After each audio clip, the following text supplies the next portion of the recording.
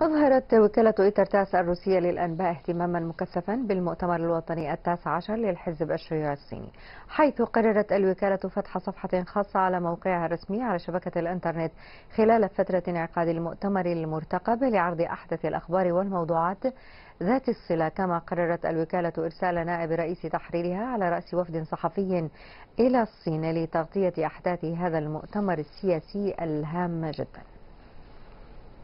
يتمتع نائب رئيس تحرير وكالة ترتاس الروسية للأنباء مارات أبو الهتن بشعور عميق تجاه الصين.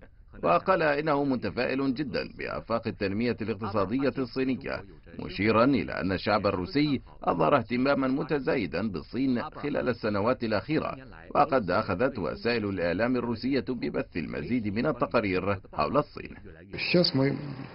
نشرنا عديد من التقارير حول اقتصاد وثقافة الصين. في المقابل اتوافر الآن عديد من الكتب الصينية متعلقة بالأدب الصيني التقليدي في مكتبات روسيا.